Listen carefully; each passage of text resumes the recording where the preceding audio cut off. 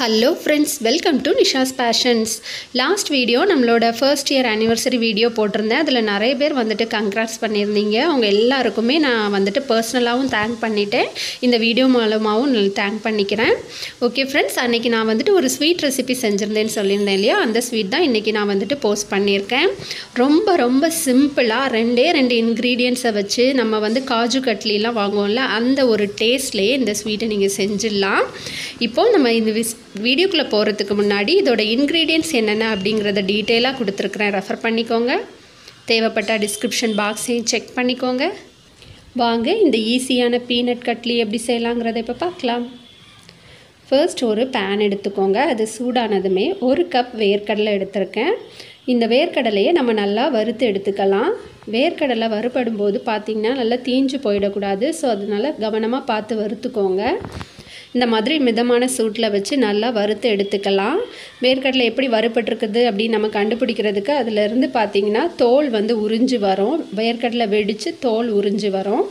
இப்போ பார்த்தீங்கன்னா நம்மளோட வேர்க்கடலை நல்லா வறுபட்டுடுச்சு. இப்போ இதை ஒரு பிளேட்டுக்கு நான் ட்ரான்ஸ்ஃபர் பண்ணி இதை ஆறினோடனே இதில் உள்ள தோலெல்லாம் நான் தனியாக எடுத்துக்கிறேன்.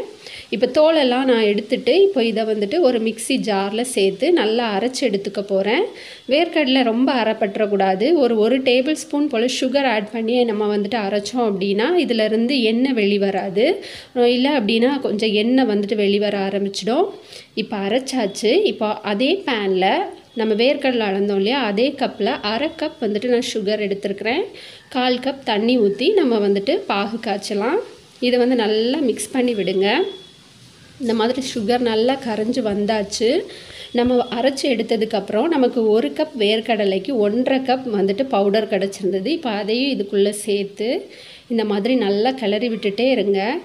சுகருக்கு பதிலாக நீங்கள் நாட்டு சர்க்கரை கூட சேர்க்கலாம். அப்படி இல்லைன்னா நம்ம வந்துட்டு சர்க்கரையை பாகு எடுத்து அதையும் நீங்கள் இதில் சேர்த்துக்கலாம். அது இன்னுமே டேஸ்ட் நல்லாயிருக்கும். பட் நான் இன்றைக்கி பேக்கரி ஸ்டைலில் செய்கிறதுனால ஒரிஜினலாக நம்ம வந்துட்டு எப்படி கிடைக்குமோ அந்த ஒரு டேஸ்ட்டுக்காக நான் சுகர் ஆட் பண்ணியிருக்கேன். இப்போ இதை நல்லா மிக்ஸ் பண்ணி விட்டுட்டு கட்டிகள் இல்லாமல் நல்லா மிக்ஸ் பண்ணிவிட்டு ஒரு டேபிள் ஸ்பூன் வந்துட்டு நெய் சேர்த்துக்கோங்க. நெய்யும் சேர்த்து இந்த மாதிரி நல்லா மிக்ஸ் பண்ணி விடணும். நல்லா இப்படி கிளறி விடும்போது பார்த்திங்கன்னா அது வந்து நல்லா உருண்டு வரணும் உங்களுக்கு. பேனில் ஒட்டாமல் நான்ஸ்டிக் பேனில் செஞ்சிங்கன்னா ஒட்டாது. நல்லா இந்த மாதிரி திரண்டு வரணும். அப்புறமா ஃபைனலாக ஒரு கால் டீஸ்பூன் வந்துட்டு நம்ம ஏலக்காய் பொடி சேர்த்துக்கலாம். அதையும் சேர்த்துட்டு இந்த மாதிரி நல்லா மிக்ஸ் பண்ணி விட்டுடுங்க. இப்போ பார்த்திங்கன்னா நம்ம ஏலக்காய் பொடியெல்லாம் சேர்த்துருக்கிறதுனால நம்ம கடையில் வாங்குறது அதே ஒரு டேஸ்ட்டில் உங்களுக்கு இது இருக்கும். கிட்டத்தட்ட பார்த்திங்கன்னா காஜு கட்லியோட டேஸ்ட்டே உங்களுக்கு வரும். இப்போது இதை வந்துட்டு ஆஃப் பண்ணிவிட்டு அந்த சூடோடவே ஒரு பட்டர் பேப்பரில் நெய் தடவி வச்சுக்கோங்க. அதுக்கு ட்ரான்ஸ்ஃபர் பண்ணிடலாம். பண்ணிவிட்டு இந்த மாதிரி பட்டர் பேப்பர் இல்லை அப்படின்னா ஒரு கவர் யூஸ் பண்ணிக்கோங்க. இந்த மாதிரி நான் பண்ணுற மாதிரி ரோல் பண்ணிக்கோங்க. சூடோடவே ரோல் பண்ணணும். ரோல் பண்ணிவிட்டு நம்ம வந்துட்டு இனி இதை வந்து கட் பண்ணி எடுத்துக்கலாம்.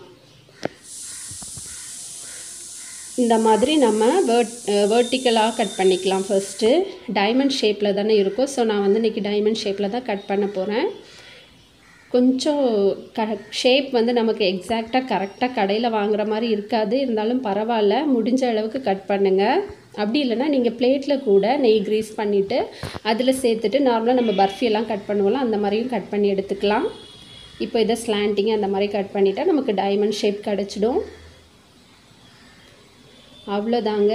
ரொம்பவே ஈஸியான பீனட் கட்லி காஜு கட்லி போன்ற சுவையிலேயே சூப்பராக ரெடி ஆயிடுச்சு. கண்டிப்பாக ட்ரை பண்ணி பாருங்கள் ரொம்ப ரொம்ப டேஸ்ட்டாக இருக்கும். கடையில் வாங்குகிற அதே டேஸ்ட்டோடு இருக்கும். கடையில் பார்த்திங்கன்னா இது ரொம்பவே ரேட்டு ஜாஸ்தியாக இருக்கும். ஆனால் நார்மலாக வேர்க்கடலை நம்ம வாங்கி இந்த மாதிரி செய்யும்போது ரொம்பவே டேஸ்ட்டாகவும் கடையில் வாங்குகிற அதே சுவையிலையும் இருக்கும். கண்டிப்பாக ட்ரை பண்ணி பாருங்கள் ட்ரை பண்ணி பார்த்துட்டு உங்கள் கமெண்ட்ஸை கமெண்ட் பாக்ஸில் ஷேர் பண்ணுங்கள் இந்த வீடியோ உங்களுக்கு பிடிச்சிருந்தா லைக் பண்ணுங்கள் கமெண்ட் பண்ணுங்கள் ஷேர் பண்ணுங்கள் ஃபஸ்ட் டைமை பார்க்குறதா இருந்தால் ப்ளீஸ் சப்ஸ்கிரைப் பண்ண கன்சிடர் பண்ணுங்கள் தேங்க்ஸ் ஃபார் வாட்சிங்